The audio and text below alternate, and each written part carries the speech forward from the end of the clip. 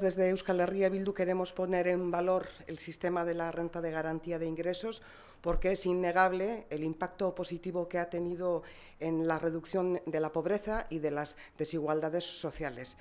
Por desgracia, creemos que se ha hecho mucho daño a nuestro sistema de protección en los últimos tiempos, por un lado mediante ataques populistas e injustos y por otro mediante la imposición de recortes por parte del Gobierno vasco.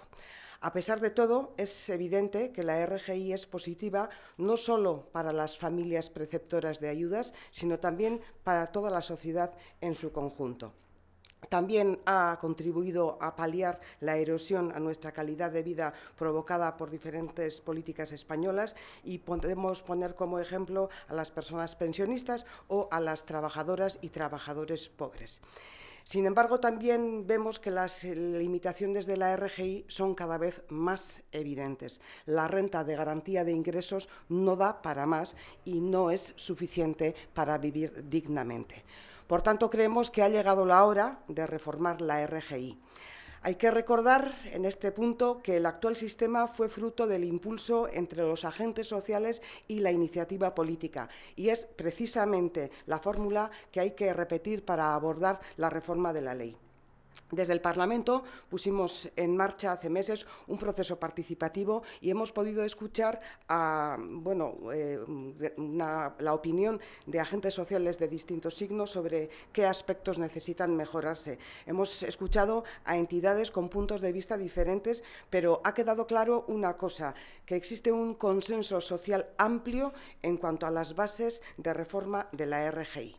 Ahora ha llegado el momento de convertir ese consenso social en consenso político. La reforma de la RGI constituye un elemento muy importante para el eh, sistema de bienestar, para nuestro sistema de bienestar. Una sociedad avanzada tiene la obligación de cuidar y de proteger a sus miembros. Por eso, desde Euskal Herria Bildu tenemos muy claro cuál debe ser el objetivo a la hora de la reforma de la ley de la RGI. El objetivo debe ser mejorar y ampliar el sistema de protección. Para ello es fundamental contar con una estrategia integral. A la vista de la importancia de este tema, creemos que todas las partes, todos los partidos, tenemos que estar a la altura y demostrar una actitud seria y responsable. Desde Euskal Herria Bildu queremos subrayar que estamos dispuestas a hablar con todos los grupos políticos para abrir una fase de negociación que nos permita convertir este amplio consenso social en un amplio consenso político. Tengo que decir que hemos mantenido, que hemos podido mantener ya los primeros contactos con el Gobierno vasco y hemos mostrado nuestra disposición a buscar espacios de encuentro, como lo seguimos haciendo, como lo vinimos haciendo a lo largo de esta legislatura. Vamos a seguir manteniendo esos canales abiertos y nuestra actitud va a ser constructiva en todo momento. Tenemos la voluntad para sacar adelante una buena reforma de la Ley de Garantía de Ingresos. Nuestra única condición es la siguiente, que el objetivo de la reforma sea mejorar y ampliar la RGI, garantizar vidas dignas para todas las personas, consolidar la RGI como elemento de cohesión social. Desde este punto de vista, como es lógico, no vamos a aceptar recortes sociales de ningún tipo, ni en las cuantías, ni en las condiciones de acceso, ni en los colectivos beneficiarios. Tenemos que abordar esta reforma desde la perspectiva de los derechos eh, con una, triple, con una triple finalidad, que es incluir a las personas que hoy en día se quedan fuera del sistema, aumentar la eficacia y mejorar la gestión de la lucha contra la pobreza y la exclusión y legitimar el sistema. Bien, tal como explicaba Mayalen Iriarte, eh, Euskal Herria Bildu valora muy positivamente el proceso participativo que se viene realizando en los últimos meses y que todavía no ha concluido porque falta alguna gente por comparecer. Los agentes eh, que saben del tema y que tienen vivencias y que vienen de ámbitos muy diferentes, desde los sindicatos a, entidades que trabajan en el ámbito de la exclusión y la pobreza como EAPN o Cáritas, eh, han, hablado sobre la dirección que debería tomar eh, la reforma de la RGI y sobre las propuestas concretas que ha puesto encima de la mesa el Gobierno vasco. El proceso participativo buscaba una reforma de amplio consenso y ha quedado claro que ese consenso está ya conformado. La mayor parte de agentes están de acuerdo en esa dirección que debe adoptar la reforma y en las medidas que debe contemplar.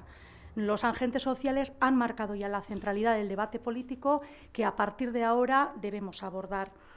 Y Euskal Herria Bildu quiere sumarse a ese amplio consenso y quiere manifestar hoy su compromiso claro por crear espacios de encuentro con el resto de grupos políticos del Parlamento y llevar al debate político todos esos elementos sobre los que se ha creado ese consenso social.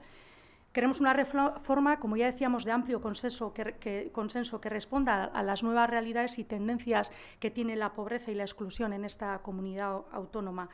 una reforma que tenga la cohesión social como objetivo colectivo.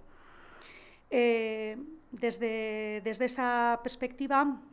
perdón, eh, no queremos una reforma que insista en los recortes ni en, ni en la obsesión por el fraude y en este sentido entendemos fundamental que la reforma de la ley retome el espíritu y la dirección inicial que tenía esta ley cuando surgió.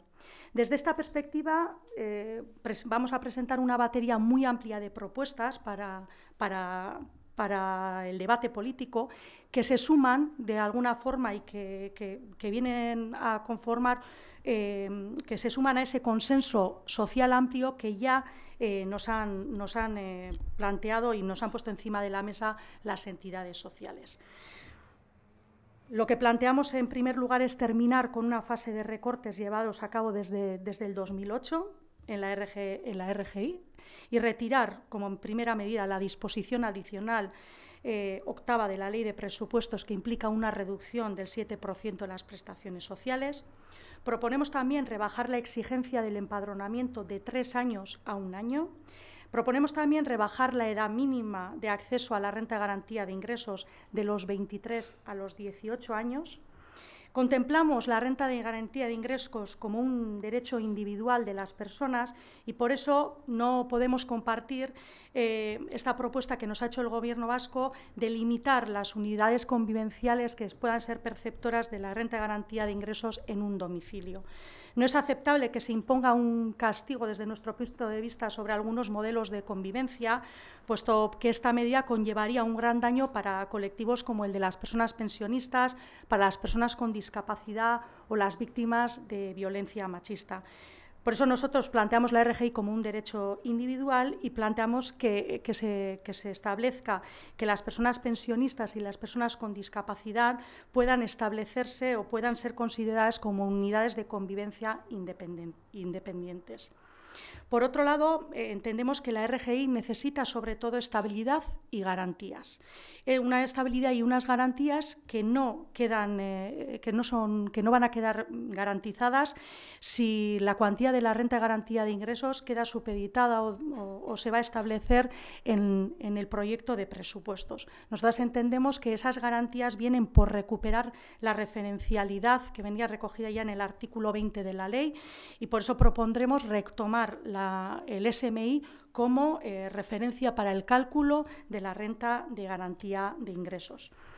Ante la aparición del fenómeno de los y las trabajadoras pobres, pues compartimos, eh, compartimos la propuesta del Gobierno de ampliar de no poner límites, digamos, al tiempo en el que se pueden eh, percibir los complementos eh, al empleo, pero no compartimos eh, la limitación a 400 euros que se plantea en la propuesta del Gobierno, porque viene a ser una, medida que de alguna forma viene a, como a financiar esa prolongación de la, de la prestación y que además de alguna forma viene a culpabilizar o haría corresponsable a las personas trabajadoras pobres de su, de su propia situación. La renta de garantía de ingresos tiene ya unos límites establecidos y la cuantía de esos complementos debería establecerse en función de esos, de esos topes que ya están establecidos.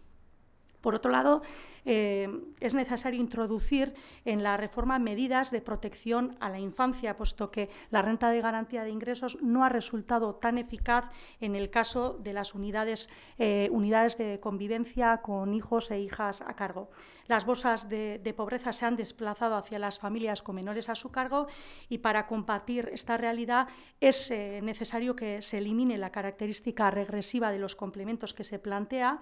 y desde esa perspectiva de derecho eh, individual aplicar un complemento único de 120 euros para todos y las y los, y los menores. Por otro lado, creemos que es el momento también para dejar de lado la obsesión por el fraude, Lógicamente vamos a plantear una serie de medidas orientadas a mejorar la gestión, a agilizar la gestión y a facilitar y, permitir que todo lo relacionado al procedimiento de renta de garantía de ingresos pueda tener las garantías necesarias, pero entendemos que para lo que es la certificación y la identificación de las personas eh, beneficiarias de la renta de garantía de ingresos, este sistema debería utilizar los mismos procedimientos que ya tiene establecido este gobierno para otros sistemas, ni más ni menos. Por otro lado, eh, eh, es, necesario también avanzar en ese eje de la inclusión que ha quedado sin desarrollar en los últimos años, eh, la perspectiva de doble derecho a la inclusión y a la renta de garantía de ingresos tiene que verse desarrollado en este momento ya tenemos que de alguna forma retomar el espíritu y la estrategia en la que surgió la renta de garantía de ingresos y por eso Euskal Herria Bildu va a proponer una estrategia común o un gran pacto contra la precariedad eh, a, este, a este gobierno. Por otro lado, todas eh, sabemos que, la renta de garantía de ingresos tiene cara de mujer, sin embargo, toda su procedimentación está organizada en función a casuísticas muy concretas y son casuísticas vinculadas normalmente a los hombres. Por eso Euskal Herria Bildu también va a contemplar una serie de medidas orientadas a incorporar la perspectiva de género y a hacer que, todo el tema de procedimentación de la renta de garantía de ingresos no penalice o no penalice o no dificulte a las personas, sobre todo a mujeres eh, víctimas de violencia de género y mujeres que están eh, empleadas del hogar, eh, ante las dificultades que tienen de acceso a la renta de garantía, puedan facilitarse, bueno, se puedan contemplar estas casuísticas y se incorporen también a la procedimentación. Creemos que es también muy importante legitimar el sistema y por eso también presentaremos una serie de medidas orientadas a aumentar el conocimiento en torno a la renta de garantía de ingresos y sobre todo orientadas a prestigiar este sistema. Esta es, en resumidas cuentas, un poco la propuesta de Euskal Herria Bildu. Es la propuesta, una propuesta que coincide con, muchas de las propuestas que los agentes sociales nos han puesto encima de la mesa en los últimos meses y que han, generado ese amplio consenso social que, hablábamos al inicio. Y, el, acuerdo con Euskal Herria Bildu pasa por sumarse a este amplio consenso social. Millascar.